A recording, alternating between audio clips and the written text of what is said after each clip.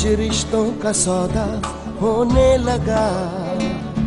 चलने लगा इंतकामों का सिलसिला।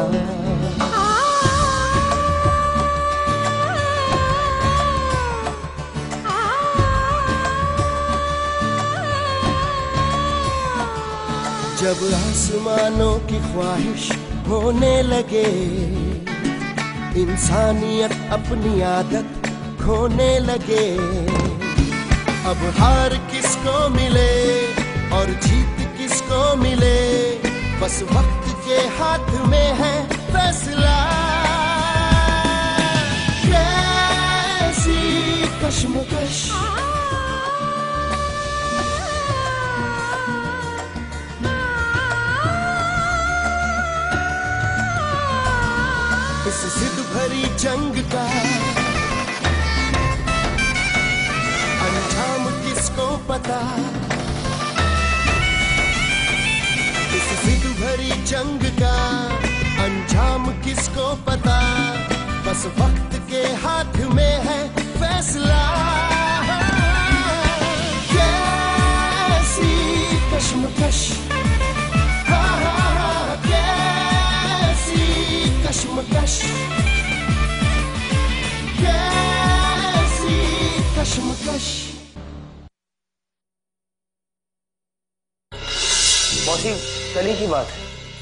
शांतनु के दूध में किसी ने एसिड मिला दिया।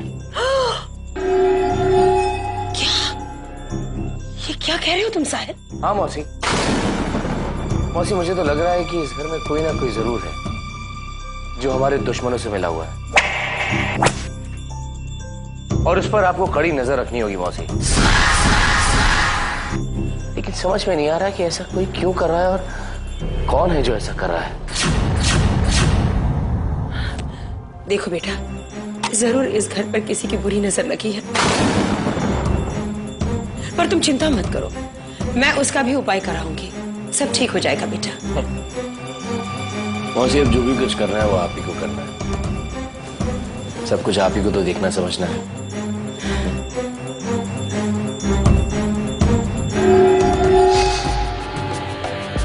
बिल्कुल ठीक कहा तुमने साहब सब कुछ देखना, समझना मुझे ही तो है। तुम्हारा ये घर, तुम्हारी जायदाद और तुम्हें भी। अब मैं इस कदर देखूँगी कि तुम्हें कुछ भी समझ में नहीं आएगा। कुछ भी।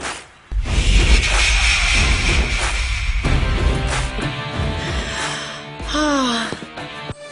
तनु, अपना गम बताने से दिल हल्का होता है। लेकिन तुम तुम तो अपना गम किसी से बांटना ही नहीं चाहती। बस अपनी ही उलझन में उलझी रहती हो। खुशी जिस उलझन का कोई हल ही ना हो उसे बताकर दूसरों को परेशान क्यों करूँ? हर उलझन का कोई ना कोई हल ज़रूर होता है तनु। नहीं खुशी तुम नहीं समझोगी। सच सच बताओ तनु तुम्हारी उलझन शांतनु को लेके है ना? इतने दिन से मैं तुम्हारे घर में रह रही हूँ। तुम्हें समझने में मैं धोखा नहीं खा सकती। मुझे लगता है तुम शांतनु को लेके बहुत चिंतित हो। हाँ खुशी कल जो भी घटना हुई है कल ही नहीं।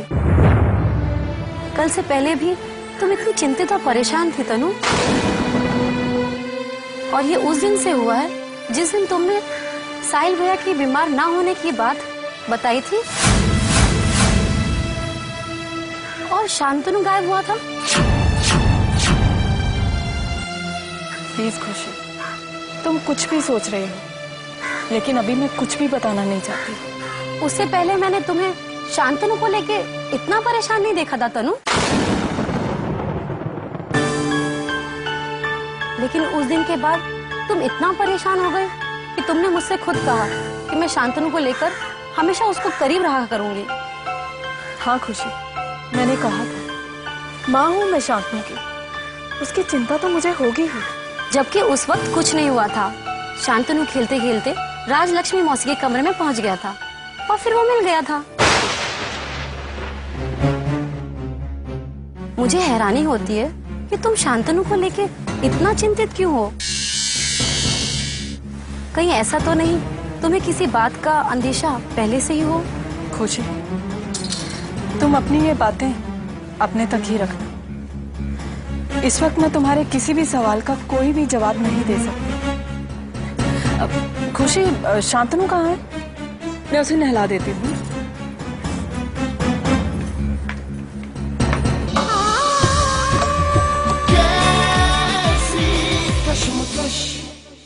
नहाएगा मेरा बेटा।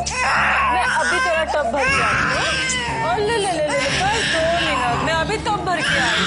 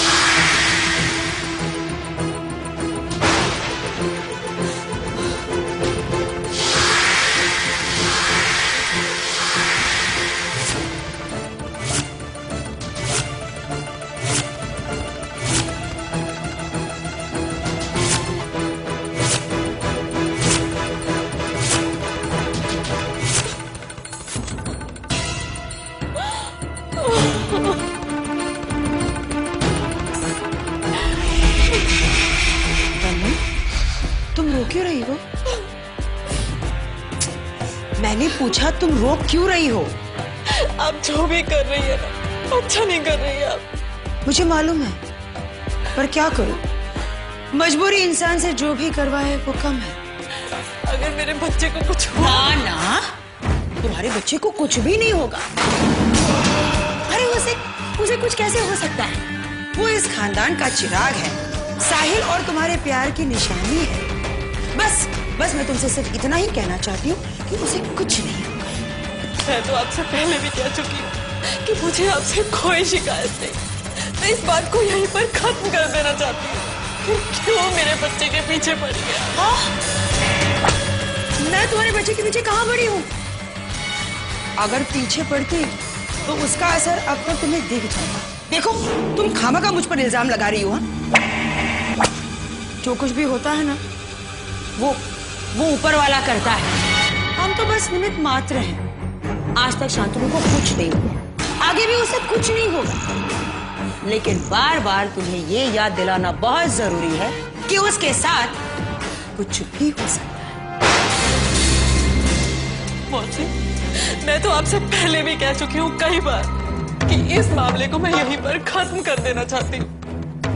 लेकिन अगर आपकी समझ में मेरी बात नहीं आई ना तो ठीक है। फिर बात को शुरू भी मैं ही करूँगी और खत्म भी मैं ही करूँगी।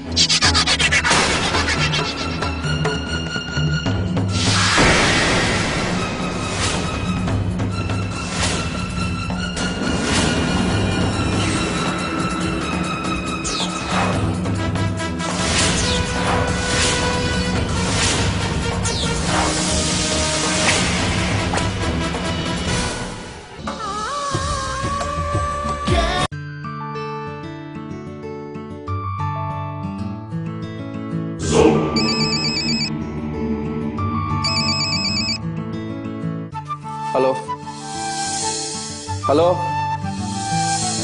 अरे, कौन फ़ोन कर रहा है बार बार अगर आप बात नहीं करना चाहते तो फ़ोन क्यों करते हैं? कौन, अरे, क्यों परेशान कर रहे हो? हेलो?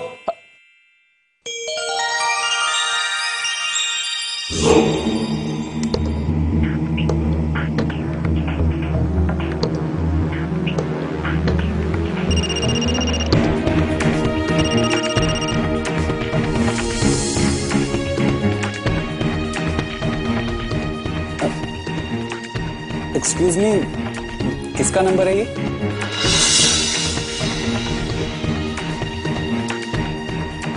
हेलो। कौन है आप? एक तो आपने हमारे मोबाइल पर फ़ोन किया है और आप हमें नहीं जानते। हैं कहिए किससे बात करनी है आपको? जी देखिए मुझे बार बार इस नंबर से फ़ोन आ रहे थे इसलिए मैंने कॉल बैक किया। जनाब लड़कियों का नंबर हासिल करके फिर उनसे फ़ोन पर बात करना और कहना किस नंबर से फ़ोन आया था? ऐसा एक्सक्यूज देना ये बहुत पुराना तरीका हो गया है मिस्टर आई एम सॉरी आप मुझे गलत समझ रही हैं। ऐसी कोई बात नहीं। लेकिन हम आपको बिल्कुल सही समझ रहे हैं। क्योंकि वैसे हमें आपके ही फ़ोन का इंतज़ार था। जी? आप आप हैं कौन? पहचानिए हम कौन है?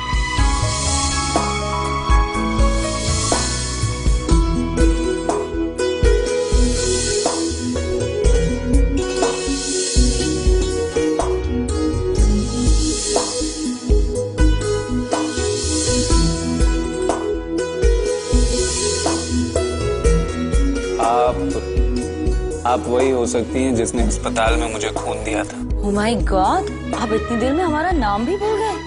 जी नहीं वो आ, पूजा पूजा ही नाम है ना आपका? थैंक गॉड आपको मेरा नाम तो याद है? मैं आपको कैसे भूल सकता आपने तो मुझे नई ज़िंदगी दी। हम तो आपको चाह कर भी नहीं भुला पा रहे हैं। जी क्या? हाँ। हाँ मतलब कि हॉस्पिटल से आने के बाद आपको तो नहीं लगा?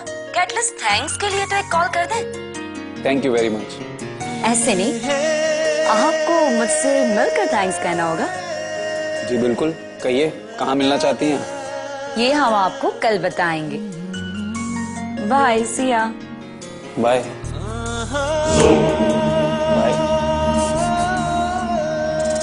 हाँ हाँ राजलक्ष्मी मैं सब समझ गई। बस इतना ही मुद्दा काफ़ी है उस तनु को बदनाम करने के लिए। मैं अभी उसे सबक सिखाती हूँ। तनु से मिलने जा रही हूँ। उसे जरा सबक सिखाना है। और हाँ अगर तुमसे कोई पूछे कि तुम एक्सीडेंट के वक्त कहाँ जा रहे थे तो यही कहना कि तुमने तनु को नहीं, बल्कि तनु ने तुम्हें मिलने के लिए बुलाया था। समझ गए?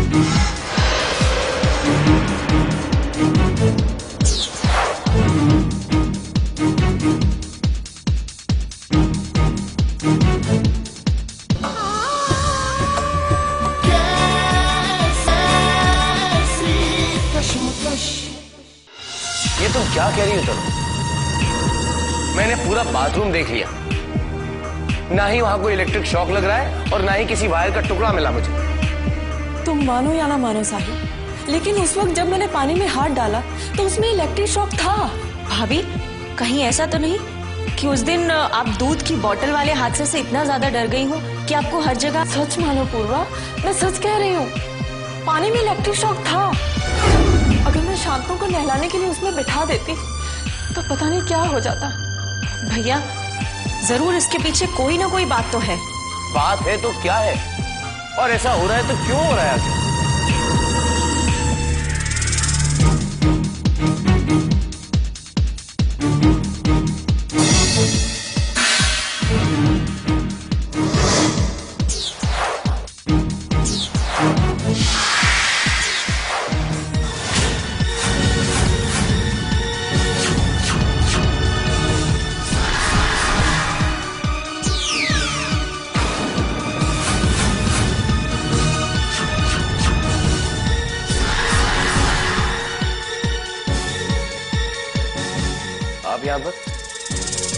तुमसे नहीं तनु से बात करनी है।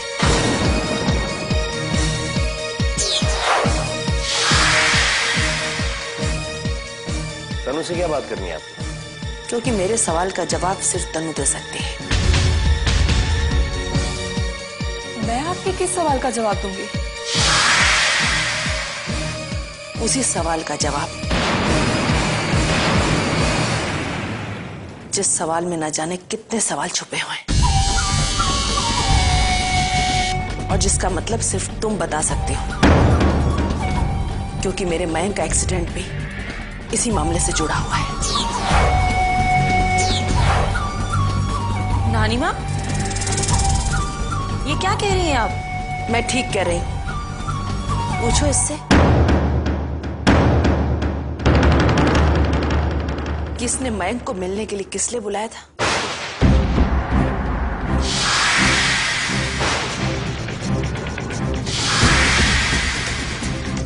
ऐसी क्या बात करनी थी इसे मयंक से?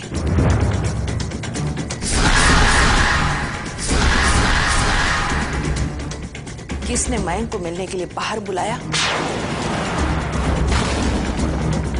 और उससे भी बड़ा सवाल तो यह है कि जब मयंक इससे मिलने के लिए जा रहा था तो रास्ते में उसका एक्सीडेंट हो गया।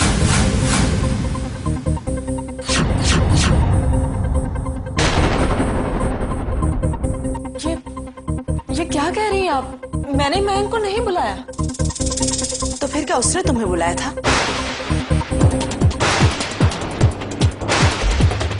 और तुम उससे मिलने के लिए तैयार भी हो गई? हाँ। मयंक ने मुझे बुलाया था। वो वो मुझे कोई राज की बात बताना चाहता था। झूठ मत बोलो। वो तुम्हें क्या रास बताएगा?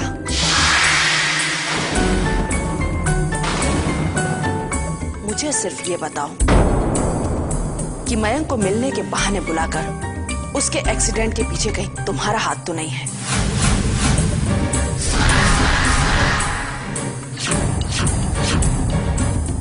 मुझे मेरे सवालों का जवाब चाहिए, तनु।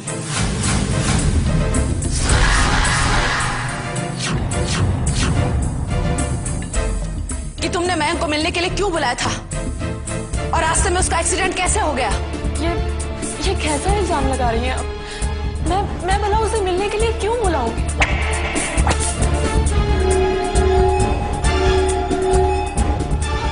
उसके एक्सीडेंट से मुझे क्या लेना देना? अगर कोई लेना देना नहीं है तो तुम कल मयंक से मिलने हॉस्पिटल क्यों गई थी?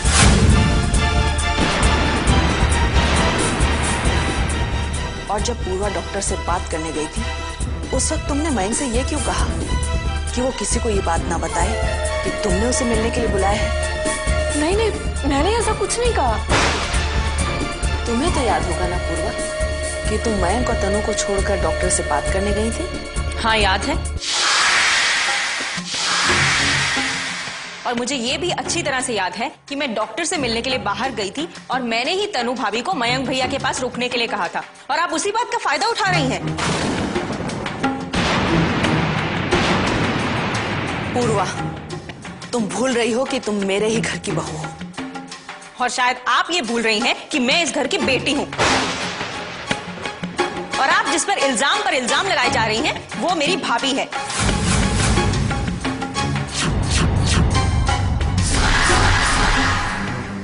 मैं जानती हूँ। तुम्हारा उससे कोई भी रिश्ता हो, मुझे कोई लेना देना नहीं है।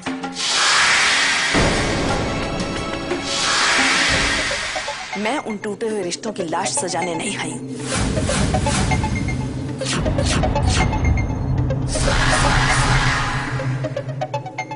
मैं सिर्फ़ इतना जानने आई हूँ कि मेरे मयंक के साथ ये हादसा क्यों हुआ? क्योंकि मैं जानती हूँ कि इस हादसे की जिम्मेदार कोई और नहीं, सिर्फ़ तनु है।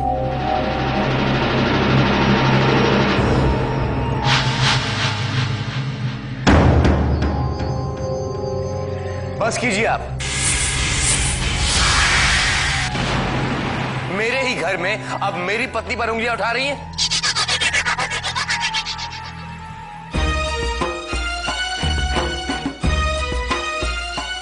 और आपको लग रहा है कि मैं यकीन कर लूँगा?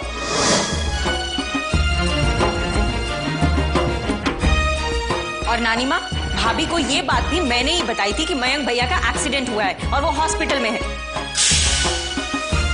मैं हॉस्पिटल जा रही थी और भाभी मेरे साथ चली गई। आप तो अच्छे खासे इंसान की अच्छाइयों को बुराइयों में बदलने में लगी रहती हैं। देखिए आपको जितने सवाल खड़े करने थे आपने कर दिए। अब आप जा सकती हैं यहाँ से। हाँ हाँ जाती हूँ। लेकिन जाने से सवाल मिटने वाले नहीं है। और जिस दिन मुझे इन सवालों का जवाब मिला, मैं फिर वापस आऊँगी। फिर वापस आऊँगी मैं।